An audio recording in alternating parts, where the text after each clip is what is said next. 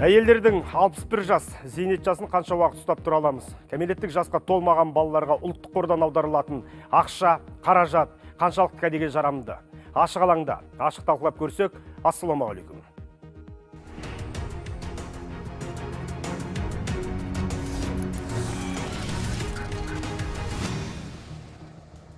Миллиондарды толғандырған мәселені бүгін ортаға салып отырмыз. Қымбатты көрермен сіздер де осы тақырыбымызға қатыса аласыздар. Ол үшін мына төменде көрсетілген телефон нөмірлерге қоңырау шалыңыздар.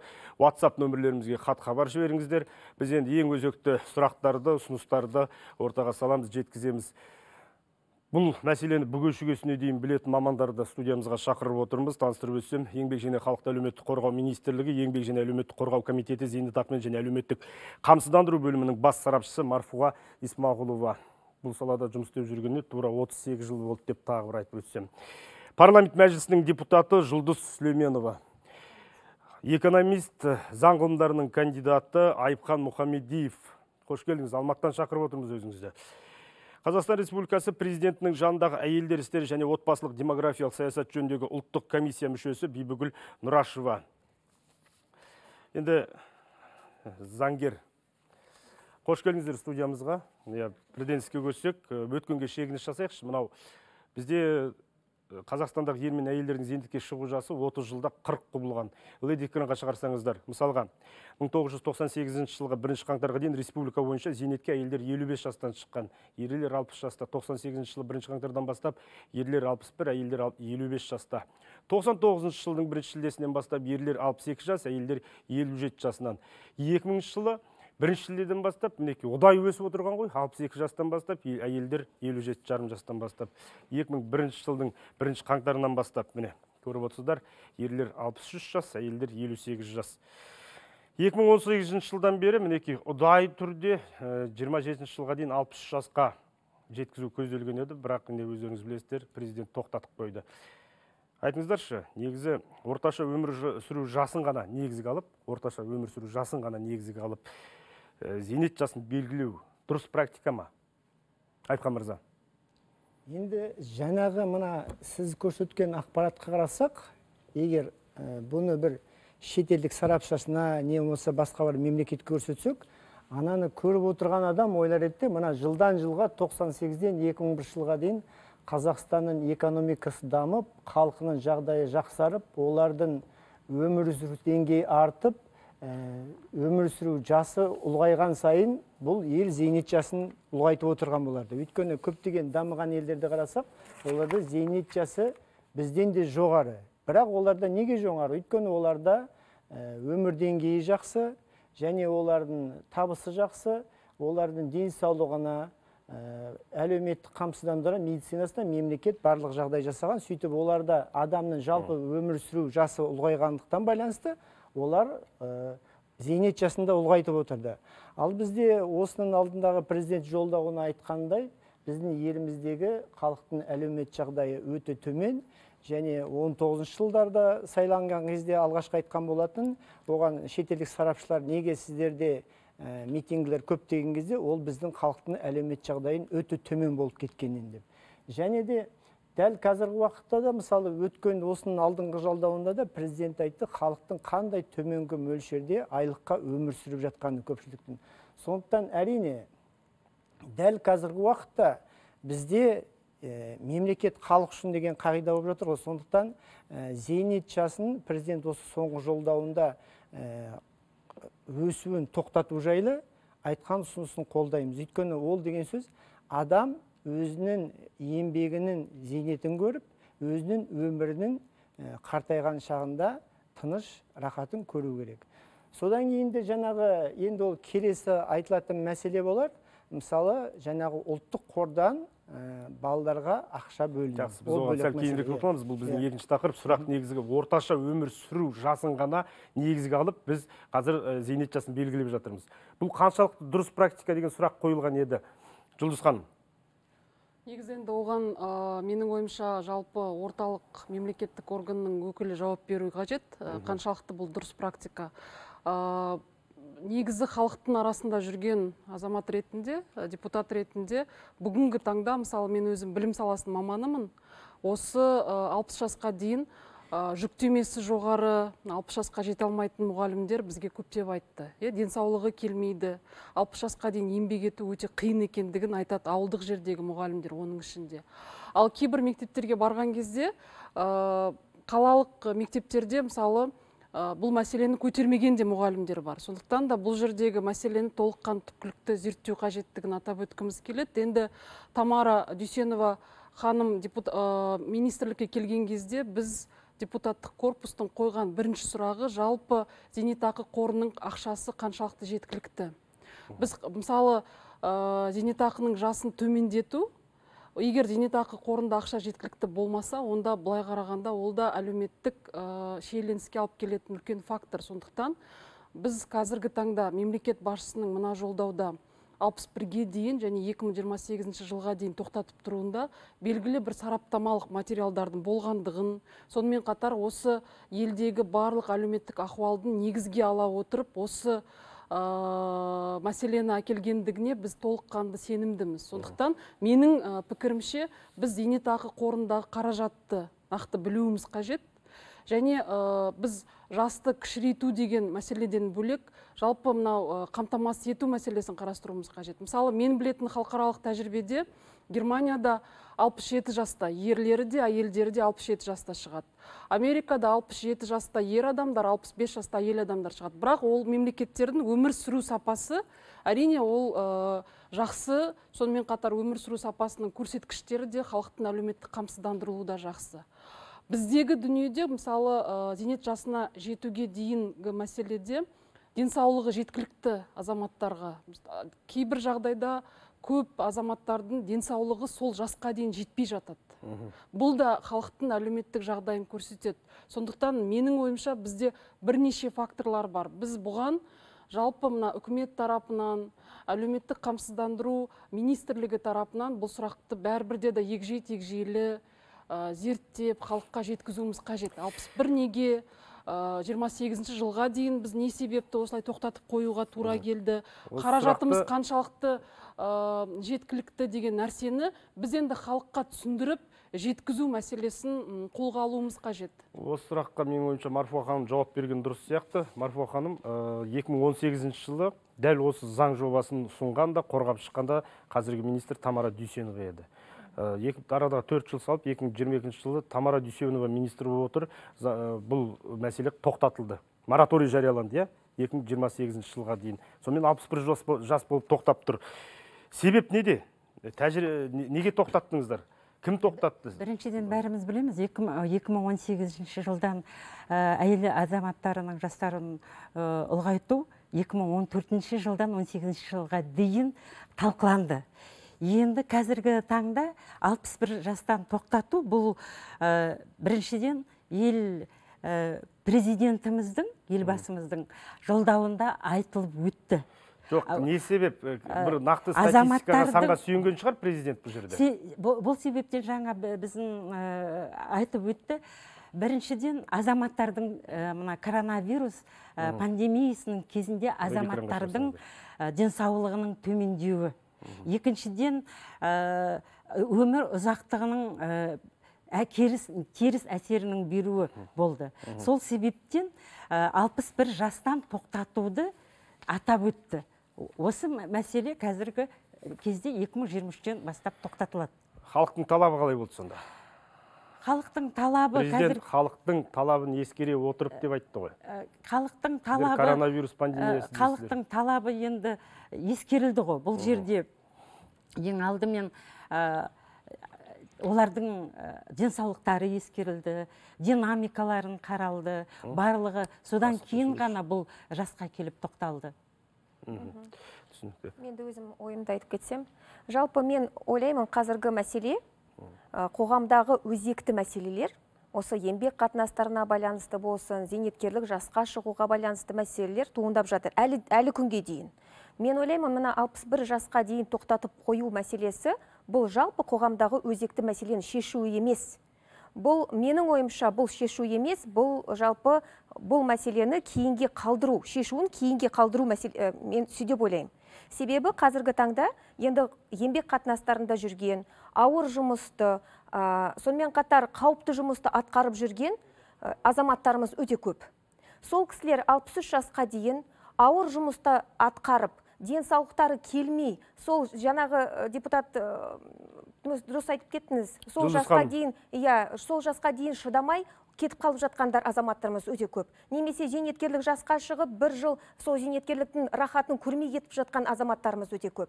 Мен ойлаймын қазіргі таңда тиісті министрлік яғни еңбек министрлігі осы жаңағы бұл мәселені действительно э, жылдар бойы зерттеп бұның барлығын жалпы мына жинақтаушы зейнетақы қорының осы жүйенің біздің қоғамда жалпы бұл чилийская система ғой. Чилида бұл ә, баяғыдан уже құрып кеткен жүйе. Бірақ сол жақтан ә, ойлап шығарылған. Бірақ иә бізге енгізілді. Бірақ бұл жүйе біздің қоғамда қаншалықты тиімді екенін біз қазір міне біліп отырмыз. Біз білеміз қазіргі таңда мысалы зейнеткерлікке шыққандардың барлығы аралас жүйемен шығып жатыр да қазір дау болып жатқан жоқ. Осы зейнеткерлікке байланысты.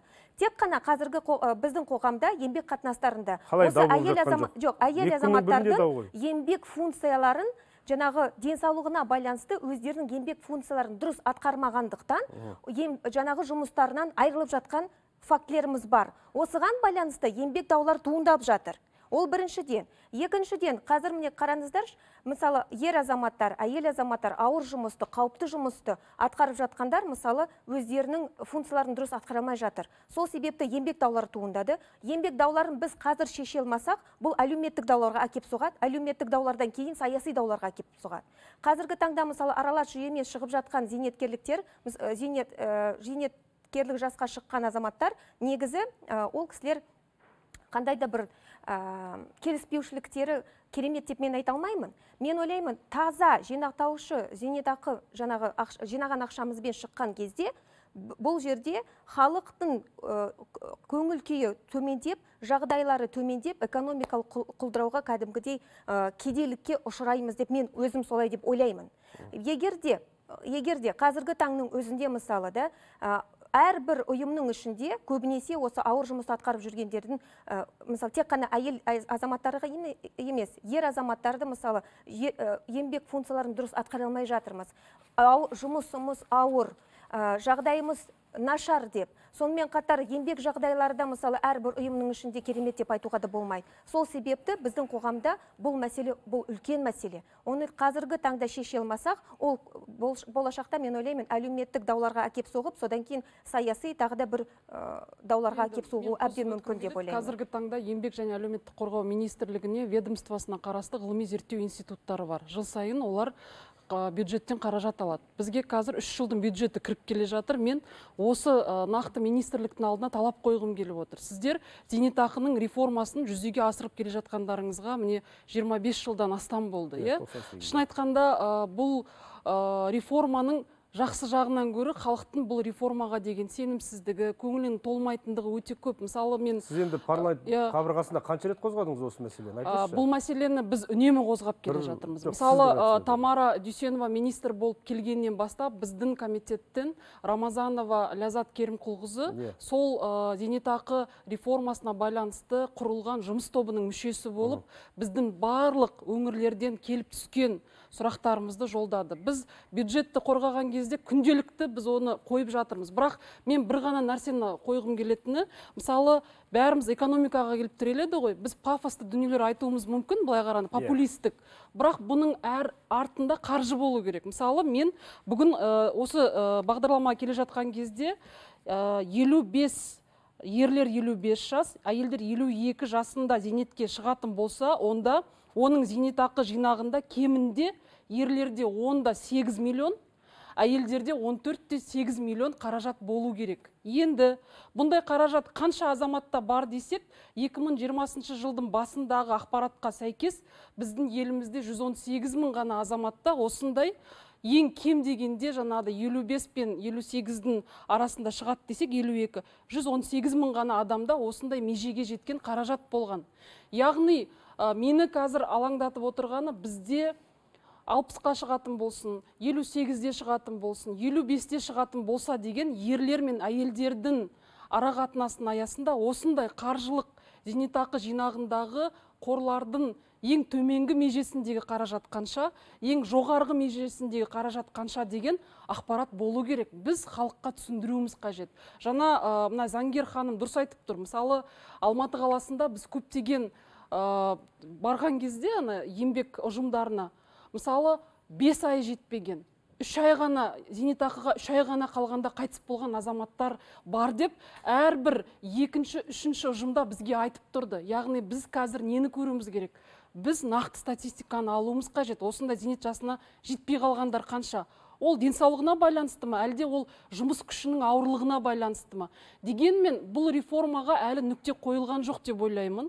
Бұл реформаға біз бәрібір де қайтып келуіміз қажет болады. Сондықтан еңбек және әлеуметтік қорғау министрлігі негізі бізге нақты аналитикалық ақпараттарға сүйенген жалпы мына мәселені ортаға салу керек. Сосын бұл жерде мен екінші мәселені көріп тұрмын. Бұл ұлттық экономика министрлігі. Жалпы мына қаражаттың болжануы жоспарлауы соларға байланысты ғой. Біз ол ақпаратты да біле алмай отырмыз.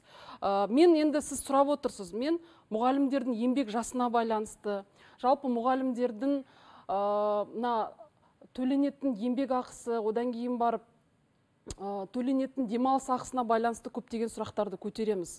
Өйткені мына ә, педагогтың мәртебесі туралы заң бар оның әлеуметтік кепілдемелері бар. Бірақ педагог мамандығының шын мәніндегі жүктемесі өте ауыр. Қазіргі таңда ә, жаратылыстану математикалық бағыттағы пәндерді беру үшін онлайн технологияларды меңгеру керек мұғалімдерге.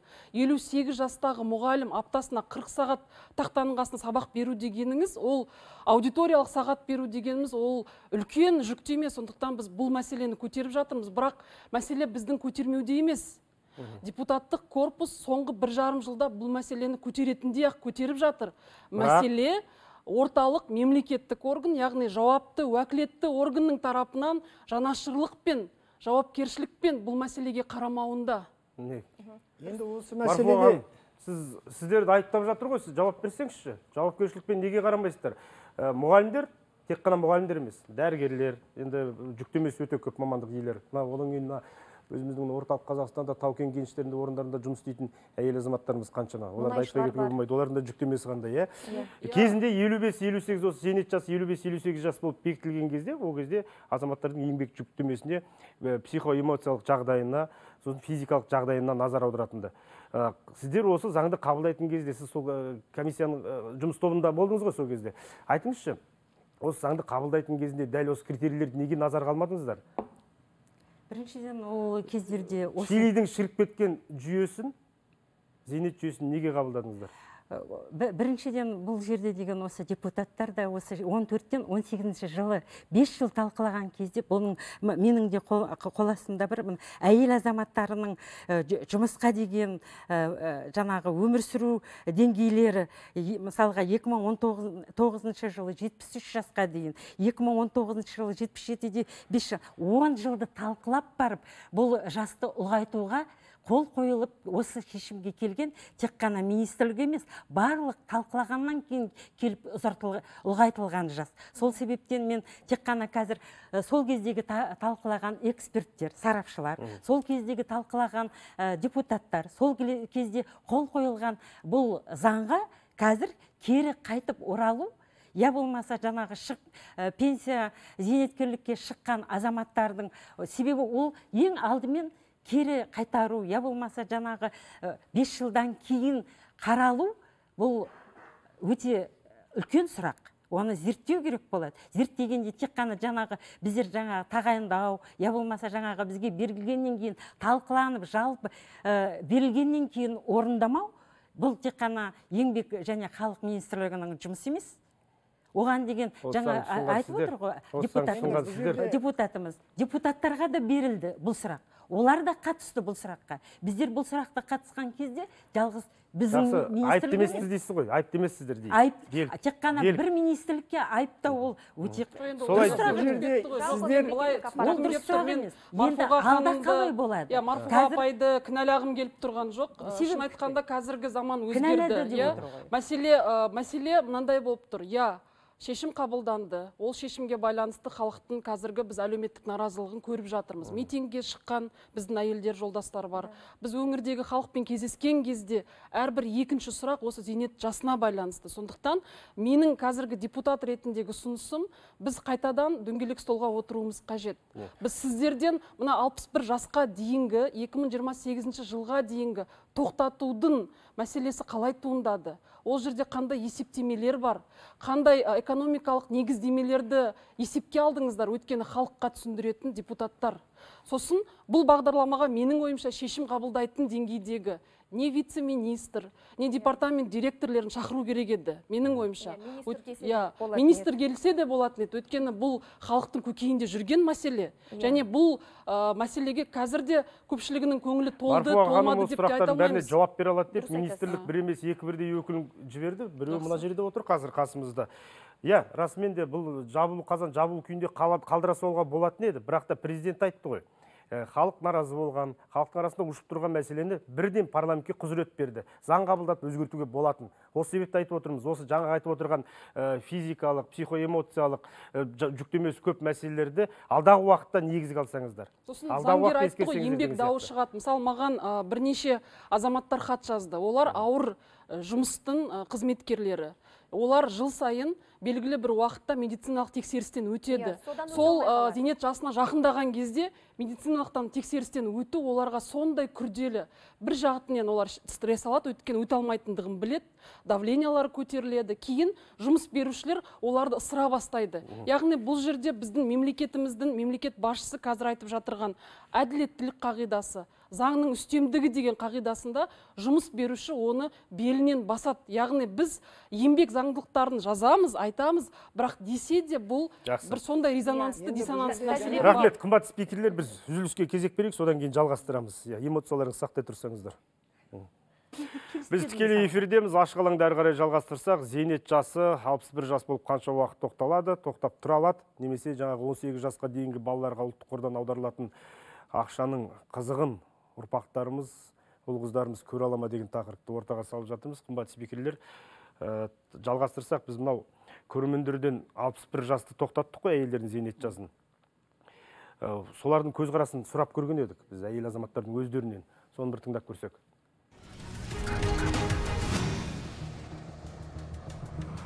Әйелдер уже елден асқасын қартая бастайды және қажиды бала өсіргеннен кейін алпыс жас жарап жатыр меніңше алпыс бір демей ақ та сол алпыс жас меніңше жарап жатыр мен өзім көп балалы ана ретінде елу үш жаста шықтым. Қазір мінекей э, енді шүкір аллаға бірақ денсаулығым жоқ. Негізі елу сегіз алған жақсы ғой. Э, қанша еңбегі бар әйелдердің. Бала бағады үй шаруасы сырттың жұмыстар негізі үкіметтің сонша елу сегізде шыққан жақсы деп ойлаймын өзімше. Менің ойымша елу сегіз баяғыда елу сегізде шығатын ба еді сол? Ұзақ қой конечно ұзақ. Сонша жұмыс істейді әйел адамдар. Қазір қырық бестемін елу үш жасымда шығамын алты баламен. Елу сегіз жасында шығу керек қой. Сол жарайды ғой. Әйелдердің оған шейін денсаулықтары да болмайды ғой.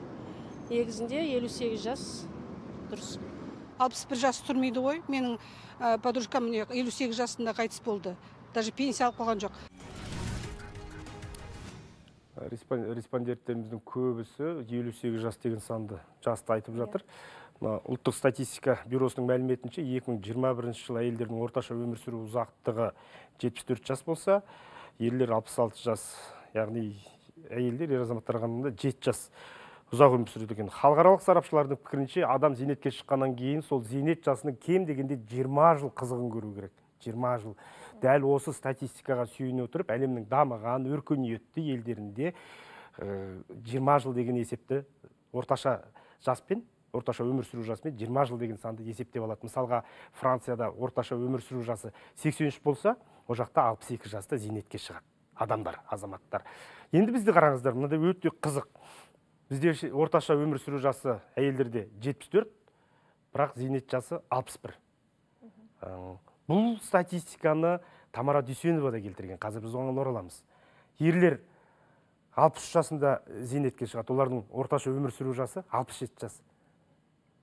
Иә 66 жас дейік иә 66 жас. Сонда біз осы азаматтарымызға зейнеттің қызығын көруге бейнетінің зейнетін көруге бір тым аз уақыт беріп отырған жоқпыз ба? Бұл қиянат емес па? Енді бұл жерде жаңа сіз о басында статистиканы көрсеттіңіз. Зейнетақы ә, зейнет жасының өзгеруі 98 жылдан бастап. Кез келген адам мамандық таңдаған кезде ол болашағын ойлайды. Мен мына мамандықта 20 жыл 15 жыл не 30 жыл істесем мына уақытта зейнетке шығамын деп. Ол оны былай айтқанда біздікі адам, адамдар қазір әйелдер қауым ерлер оны артынан қуып жете алмай келе жатыр.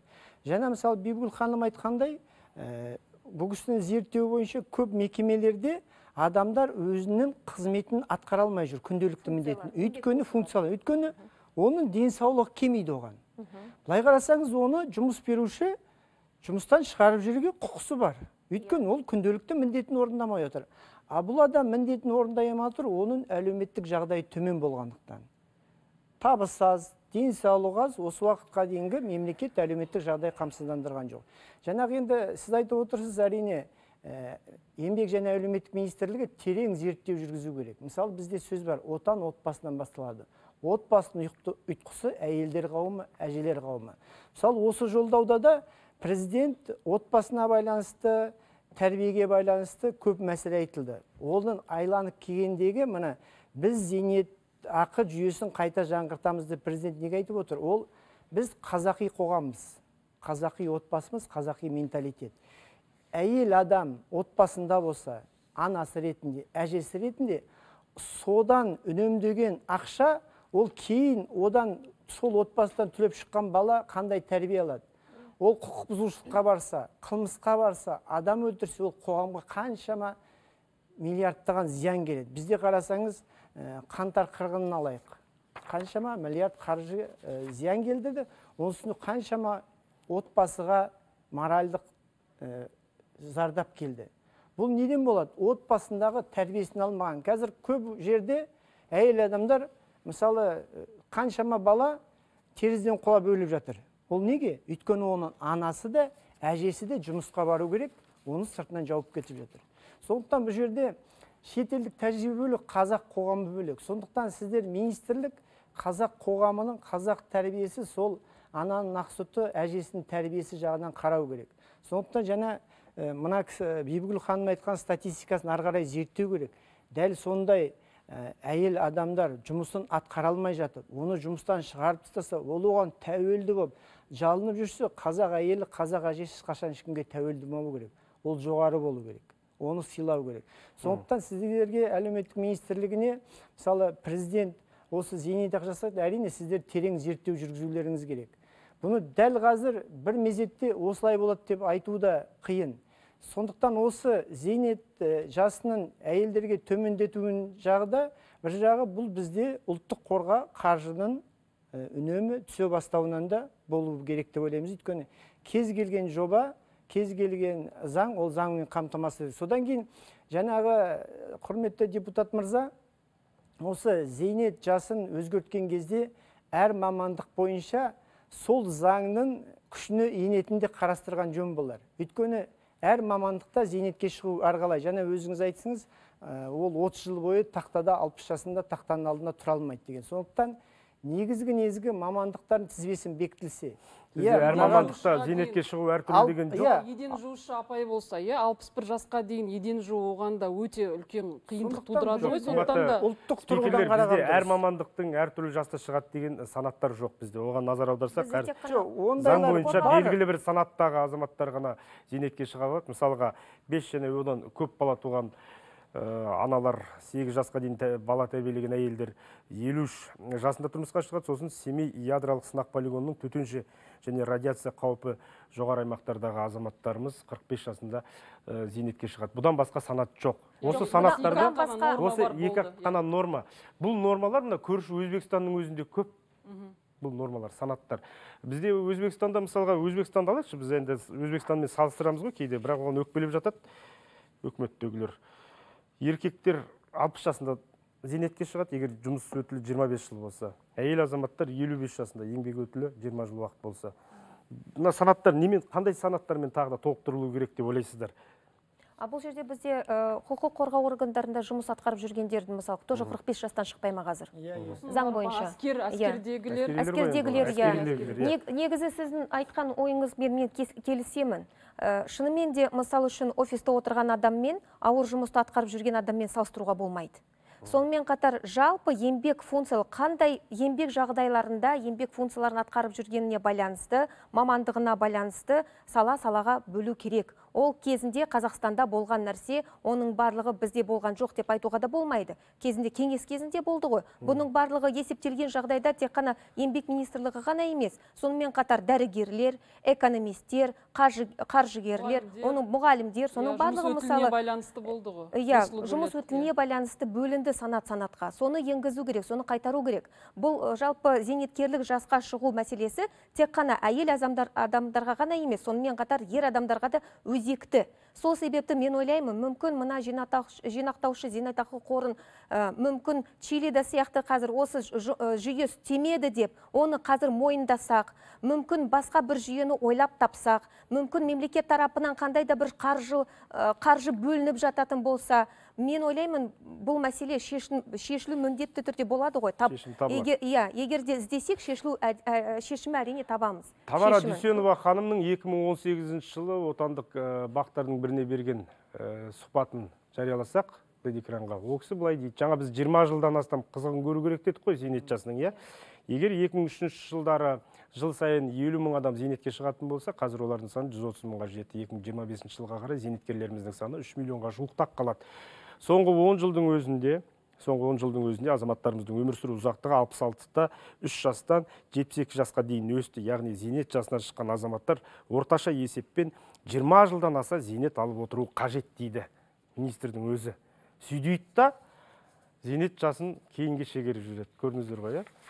Неге министр өзіне қарама қарсы сөйледі сол кезде? Қарама қарсы шешім шығарды. Парадокс. министрден сұраңыз. Иә, логика қайда? жоқ мен марфуға ханым сізге қойып отырмын. Біз енді осы мәселелерді жөндеп шұғыл арада заң жобасын қайттан қарап зейнетақы жүйесін реформа реформалай аламыз ғой иә?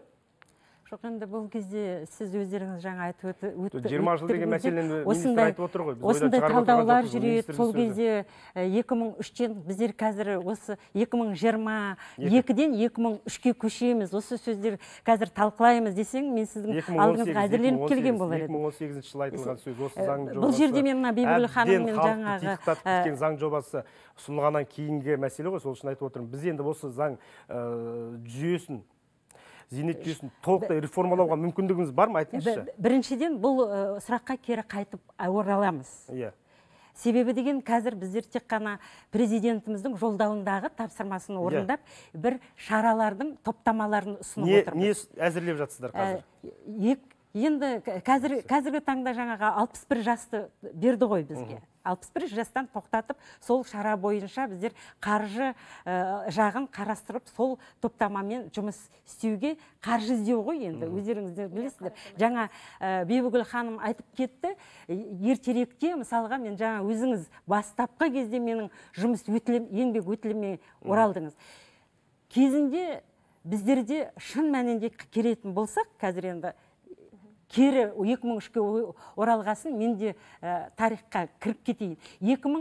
2096-98 жылға дейін біздерде міндетті түрде мұғалімдер дәрігерлер ә, ә, қиын жұмыста істейтіндер тракторда істейтіндер өте президентіміздің жолдауымен осындай жастарды біздер барлығына ерте шығуға мүмкіндік бердік. Мүмкіндік бергеннен кейін сіздер өздеріңіздің көз алдарыңызда 90 жыл 6 жылы қаржыны есептей алмай қандай күйге түстік? Сол себептен мен бұл жерде ойлаймын бұл сұрақты жаңағы ә, ке- келісемін аудиториямен. Бұл сұрақты зерттеу үшін алдымен қаржы жағын қарастыру керек. Біздер сұрасақ та біздерге қаржыны бермейді деген мен ойдамын. Себебі біздерге берсе мен қуана қуана келісер едім. Мен ә, түсініктеме жұмыстарын жүргізетін бас сарапшымын ғой. түсінікті. Сіздер өздеріңіз зейнет жасын қысқартқыларыңыз ақ келеді. Бірақ жауапты мекемелер жаңағы экономика министрлігі басқа да мекемелер осы э, заң келген кезде қаржы тапшы деп тоқтатып қояды. Қаржыға байланысты. Иә яғни зейнетақы жинақтаушы қордағы қаржының несі қанша көлемі қанша мемлекет тарапынан әлеуметтік кепілдемелер ретінде бөлінетін қаржының көлемі қанша деген ойлар соны зерттемей соны зерттемей бұл сұраққа оралу мүмкін емес. Себебі мен айтып кететін бірінші жаңағы адамдардың денсаулығын себебі 2018 жылға дейін біздер аза, әйел азаматтарының денсаулығы жақсарды деп жаңағы жағдайға келсек енді біздер жаңағы пандемияның кесірінен төмендеп кетті теріс әсер ке- келістірді деп отырық. Ә, өмір сүру ұзақтығы теріс әсер Қысқарды. Э, зейнетақы жаңағы жүйесін э, жаңарту керек деп қойып отыр алдымызға тапсырма. Ендеше бұны біздер бүгін ертең шешетін жағдай емес. Бұл тоқтатылды 61 жас 5 жас 5 жылға дейін. Ендеше бұл сұраққа қайтадан оралу керек болады. Мен де келісемін бұнымен. Бірақ қазір айтты екен деп мен сіздерге бұл сұраққа э, себебі менің қолымның астында ешқандай динамикамен ә, жауап әзір емес. Бірақ қайта оралатынымызға мен сенімдімін. Енді қараңыз марфуға ханым бұл жерде э, адам тағдыры қазақ халқының тағдыры ол осы қазақ халқына байланысты. Оның ішінде әйелдер қауымына байланысты. Бұл жерде жай статистика ретінде қарамау керек те бұл әрқайсысына біз жанарлық жанашырлықпен қалуымыз керек. Әлгі әр адам біздің ұлттық байлығымыз. Оның ішінде бұл ешқандай несі жоқ ол қазақ азаматы қазақ ұлты. Өйткені қазіргі халықаралық жағдай көрсетіп жатыр. Қазақтың азаматы бар патриоты бар сосын басқа халық бар. Біздің конституциямызда жазылған адам бар содан кейін қазақстан азаматы бар. Өйткені қазақстан азаматының міндеті бар да ол жай адамның азаматтығы жоқ ешқандай міндеті жоқ. Сосын бұл жерде мысалы қарайық. Сіздер әрине айтып отырсыздар э, біз халыққа жанымыз ашиды бірақ бізге мынандай жобаны іске асыруға не болмаса мынандай негіздеме жасасақ әрине сізге үкімет бұл үшін тыйым салады. Не болмаса сол министрлікті қызметтен алып тастауы мүмкін. Енді қараңыз былай деп ә, былай деп айтуға болмайды. Мысалы қаржы мәселесі болса біз шешер едік. Мысалы қазір қазақстан халқына қоры бар солай ғой. Мысалы бір балаға осымен екі рет болды ғой деймін. Ең қымбат ә, дәрі бір миллиард теңгеге салды. Бір баланың тағдырын алып қалу үшін. Бұл мемлекеттің жасап отырған жақсылығы. Сол секілді егер де біз қаржы жоқ бірақ адамдар еңбек етіп соңында ә, жаңа бибігүл ханым айтқан жұмысын атқара алмай ол жерден жеккерінішті болып кетіп зейнетақы да ала алмай соңында ол адам психологиялық ауруға душар болып ешкімге керегі жоқ болып ауру болып үйінде жатып қалып жатса ол да мемлекеттің қатыгездігін көрсетеді. Баяғыда айтушы едік қой ой капитализм деген ол адамды қырады қанайды сосын оны лақтырып тастайды деп. Сонда біз қазақ мемлекетіміз о баста мысалы қазақтың бұрынғы әдет ғұрпы қарайтын болсақ қазақтың ережесінде жазылған болған. Кімде кімнің сол ауылда жағдайы болмай үйі болмай тұрмыс жағдайы нашар болып жатса қазақтың ережесінде жазылған. Сол ауылдың байы оның жағдайын жасап үйін алып беріп алдына мал салып беру керек деген. Иә, өйткені бұл біздің қазақ қоғамы сондай. Біз мына ұлан ғайыр даланы сондай ережелермен сондай қатаң тәртіппен сақтап қалғанбыз. А бізде қазір қалай? Біз қызметке жеттік біз байыдық. Бізде енді екіге бөлінейік дейді шетелдегі секілді. Ең бай адам бар кедей жағдайы жоқ адамды көргісі келмейді. Жақсы. Айыпхан кедей мырза біз сіздің айтқаныңызды дәстүрлі саясатыңызды сәлден кейін жалғастырсақ. Иә үзіліс. Қымбатты көрермен қымбатты спикерлер тақырыбымызды әрі қарай жалғастырсақ. Жалғастырғанда да енді зейнетақы мәселесіне қатысты нақты ұсыныстарымызды айттық қой. Қалай реформалану керек зейнетақы жүйесінде қандай өзгерістерді қалайтынымызды не көргіміз келетінді көрермендеріміздің не, не естігісі келетінін айттық. Енді мына ұлттық қордың өздеріңіз білесіздер ұлттық қор балаларға атты үлкен жоба әзірленіп жатыр. 2024 жылдың бірінші қаңтар- қаңтарынан бастап жүзеге асырылады. Яғни ұлттық қордағы елу процент инвестициялық табыс балаларға жеке есепшот ретінде алынады. Сол балалардың есепшотына аударылады. 18 жасына дейін ол енді жыл сайын аударылып отырады. Бұл енді шамамен есептейтін болсақ бір э, үш миллион теңгенің көлемінде болуы мүмкін 18 жасқа дейін деген мәселе. Президенттің сөзін шығарыңыздаршы. Мен бір оқып беріп өтейін. Әрбір отбасы еліміз пайдаланып жатқан ұлттық байлықтың игілігін көру керек.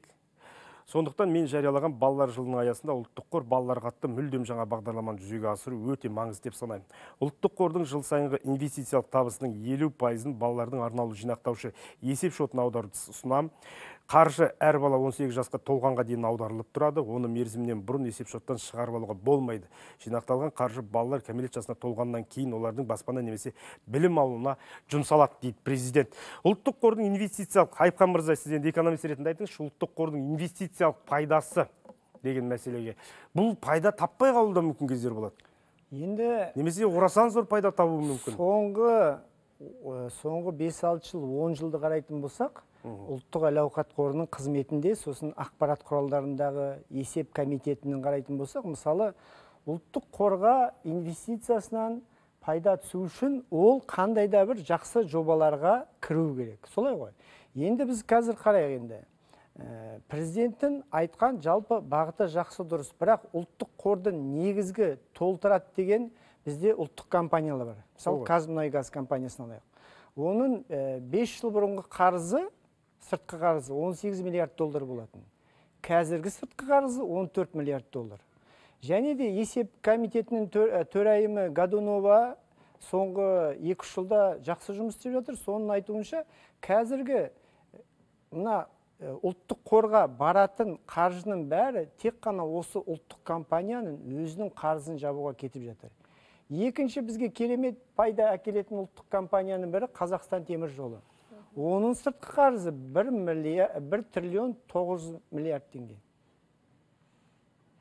сондықтан ол да тек қана өзінің сыртқы қарызын жауып жатыр мысалы ә, жаңағы есеп комитетінің соңғы екі жылдағы есебін парламентке сіздерге айтқан болатын тыңдадыңыздар ақпарат құралынан жүр ананы қарап отырсаңыз ол ұлттық қорды басқарып отырған басқарманың ішінде ме не басқарма төрағаларының ішінде бізде экономикалық диверсиямен айналысып отырған адамдар бар деуге болады. Сондықтан жуық арада біздің ұлттық қорға ақша молынан түседі деуге қиын. Мысалы жаңа біз жаңа ғана айтқан тақырыбымыз зейнетақы қоры. Зейнетақы қоры 250 миллион долларды білесіздер әзербайжан банкіне салып сол беті қайтпай қалды. Ол да жаңағы біздің жаңа отырған зейнетақы қорынікі болатын. Қайтарылып та жатыр.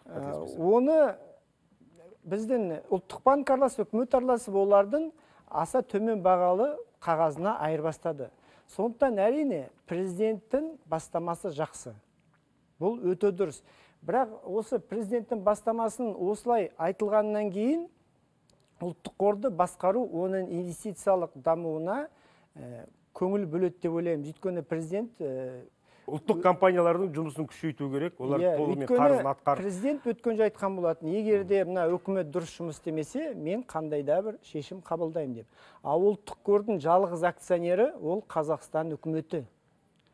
Бүкіл ұлттық қордағы болып жатқан мәселеге тікелей жауапты премьер министр әлихан смайылов.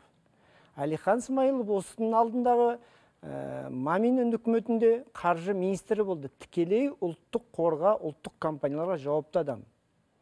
Сондықтан бізде ә, соңғы 10 жылда мысалы ә, статистика бар. Соңғы 10 жыл ішінде ұлттық компаниялар ұлттық қорға үкіметке дивиденд төлемеген дивиденд төлеме деген қалай олар өздерінің жаңағы ә, бүкіл қызметінен пайда табасын таза табысын ұлттық қорға аудару керек болатын. Ал ол дивидендті үкімет қаулы қабылдап алу керек. А біздің үкімет дивидендті алмайды. Сондықтан олар өздерінің жеке мұқтаждарына не болса қандай да бір осындай іске аспайтын жобаларға жұмсап жатыр. Біздің мына айтылып жатқан ұсыныстарымызды ұлттық қордағылардың құлағына жетіп ескерер дивидендті төлер және де осы дивиденд төленсе пайда келсе біздің балаларымызға да ақша көбінен аударылады. Бұл ақшаны 18 жасқа дейін балалар кәмелеттік жасқа толмаған балалар пайдалана алмайды. 18 жасқа толған күні барып жаңағы ақшасын банктен шеше алады оның үстіне бұл қаржы шетел валютасында саны сақталады. Енді жаңа өзіңіз айтып отырсыз бұл кәмелеттік жасқа толғандағы сома қанша болады қалай болады? Енді мен көптеген әлеуметтік желідегі сындарды оқып жатамыз ғой. Соның ішіндегі иә бұл жолдау биылғы жолдау өте жақсы болды. Өйткені біз мына қаңтар оқиғасынан кейін ақпаннан бастап бірнеше мәрте иә ә, сол мамырға дейін ә, жеке өзім 6-7 рет өңірге барып халықпен кездестік. Сол кезде ә, аманат партиясы фракциясының депутаттары 1209 халықтан келген әлеуметтік мәселені жақсартуға байланысты халықтың әл ауқатын көтеруге байланысты нақты ұсыныстары болды. Сол ұсыныстарды үкіметке жолдағанбыз. Соның бір сыпырасы концептуалды негізде бір шешімдерін тапты. Енді мен жеке білім саласының маманы ретінде тек қана бұл ә, ұлттық қор балаларға деген жобаны ә, соны ғана алып алып соны ғана талқылағаннан емес жалпы балалар жылында мемлекет басшысы ә, концептуалды толыққанды бір қарағандығын атап өткім келеді. Бірінші ә, балаларды күту туралы жасты. Әйел мысалы бір жарым жасқа дейінгі Ұзартты. уақыт берді ұзартты. Ол өте жақсы болды. одан кейін екі жастан алты жасқа дейінгі балаларды бала бақшамен яғни мектепке дейінгі оқыту тәрбие мекемелерімен қамту мәселесін кәдімгі астын сызып тұрып айтты. Шын көптеген зерттеулерде ерте жастағы баланы дамыту мәселесі кәдімгі жақсы талқыланып жатыр. Егер біз балаға ерте жастан инвестициясын салатын болсақ иә оны жақсылап оқытатын болсақ оның денсаулығына қарайтын болсақ эмоционалды интеллектін дамытатын болсақ ол бала жалпы мектеп жасында одан кейінгі үлкен өмірде жетістікке жетуіне зор мүмкіндік екен. Енді сіздің айтып отырған дүниеңіз иә кейбір сын пікірлер айтылды. Мысалы 18 жастыға келген кезде баланың жинақтайтын жаңағы сомасы миллион екі жүз мың теңге болады екен. Ол несіне жетеді деген дүниені мен оқыдым бірақ доллармен үш мың доллар деп айтты иә иә шамамен үш баспасөз мың хатшысы, доллар. Бірақ менің ойымша бұл жерде біз ы, концептуалды және толыққанды қарауымыз қажет. Яғни бұл жерде біз балабақшаның ә, балабақшаның тәрбиешілерінің айлығын көбейту мәселесі қойылып отыр. Сонымен қатар педагогтардың жалпы білім сапасын беруге мәселесі қойылып отыр.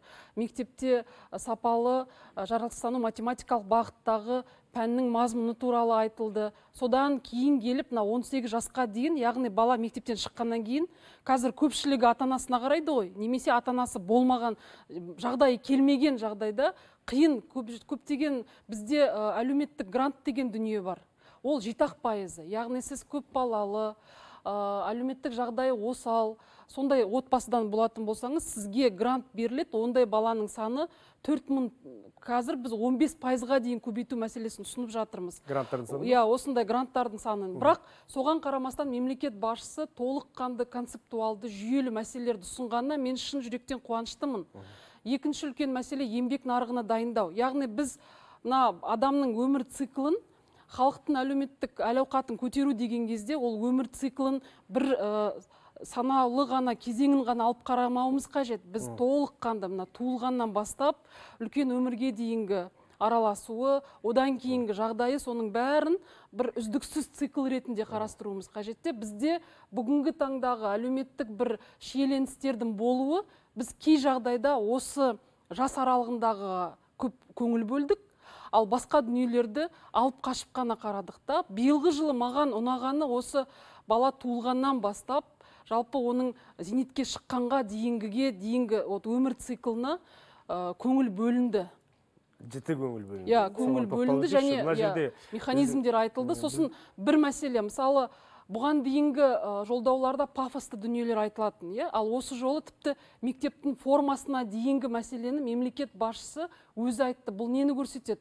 Біздің қазіргі таңдағы мемлекеттік билік барлық ақпараттық саладағы болып жатқан мәселеден хабардар және оны өзінің күнделікті ә, мемлекеттік саясатының негізгі бағдары ретінде қарайды. Оның ішінде әлеуметтік мәселелер басымдыққа ие деп мен түсіндім. Біздің орташа жастың өзін ұлғайтып көрсетуде қайбір қайбір қателіктердің кесірінен болар мысалға иә? Енді мынандай бір ұсынысты оқып қалдық мына балаларға түсетін ұлттық қордағы ақшаны 18 жасқа дейін емес жыл сайын беріп отырса деген ұсыныс айтылып қалды. Қысқа нұсқа қайырыңызшы бұл тиімсіз ба тиімді ма бұл? Жыл сайын беріп отырса әрине бұл. неден басталды? Президент жолдауында былай деді. Біз ата заңымызда жер мен табиғи ресурстар халықтың меншігі деген басты қағидатты бекіттік дейді. Бұл құр сөз емес бұл барлық реформаның арқауы бұл конституциядағы алтыншы бапта халық меншігі деген сөз сіз бен біз бұл сөз емес. Баяғыда айтушы едік қой арабтар ә, ақша бөліп жатыр халқына. Қазір моңғолияны мына 18 жасқа деген ә, заңға барған кезде парламентте өзгереді. Неге дейсіздер ғой? Өйткені егер бүкіл қазақстан халқы меншігі болса неге тек қана балаларға? Баласы жоқ адамдар да бар ғой. Баласы кетіп қалған ана жаққа адамдар бар. Олардың құқы бұзылады. Сондықтан бұл заң болған кезде парламентке 18 жас алынып бүкіл қазақстан халқына деген заң қабылданады. Өйткені біз бәріміз бұл жерді меншігіміз. Сондықтан бұл заң қабылданған ерекшелігі жақсылығы сөз. иә. айтқан сізге- мырза өкінішке қарай бізге енді эфир уақыты берілген өлшеулі уақыт аяқталған екен. Барлықтарыңызға спикерлер алғыс айтамыз. Мен мына президентіміздің мына бір сөзімен аяқтасақ еліміздің басты құндылығы адам. Бұл айқын нәрсе. Сондықтан ұлттық байлықты тең бөлу және баршаға бірдей мүмкіндік беру реформаның басты мақсаты. Ұлт саулығы жақсы болса ғана қоғам орнықты дамиды дейді президент. Біз де осы әдемі жақсы жолдаудағы пікірді балаларымызға бақытты балалық шақ сыйлай алатын қарияларымызға қамсыз қарттық тарту ететін дамыған тегеурінді мықты мемлекетке әлі ақ айналамыз деген ізгі тілекпен ая- аяқтағым келеді. Ұсыныстарыңызға пікірлеріңізге алғыс айтамыз. Сау болыңыздар.